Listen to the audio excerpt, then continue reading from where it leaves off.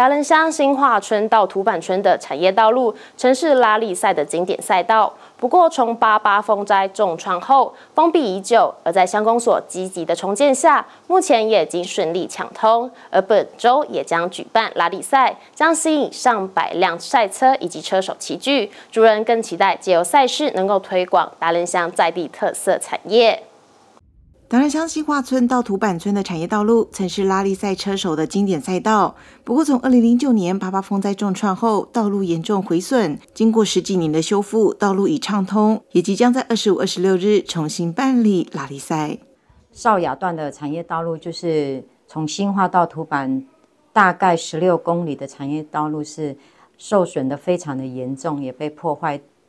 破坏的非常严重，不能通行。那乡公所在这十几年的努力之下，哎，渐渐车辆一般的车辆是可以呃走这个山区。那土板跟新化村呃这两个部落也会利用这个产业道路来去呃行驶。达人乡公所表示，交通是发展农关产业重要的命脉，能将人潮带进来，产业带出去。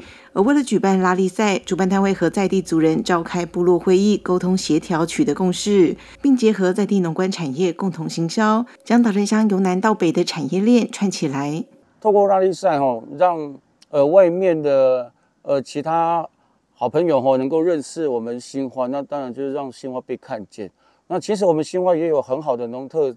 农特产哦，像呃咖啡啊、苦茶油啊，还有现在的椴木香菇哦都有。那我们也希望说，透过这个，那能够说让外面的朋友啊，能够来参考。我们会做地方回馈，除了我们村呃各村村部落，或者是我们的呃学校，像我们这次有使用到了新化国小，好，还有我们的一些私人的一些呃露营区的地方，也都希望说可以把我们希望的。呃，我们的好意慢慢把它给推广出来，让我们的像我们的呃一些部落啊，我们比较一些偏乡的部落，然后有一些发展协会，好，那如果说有部署的地方，也都希望说可以慢慢的在做进步。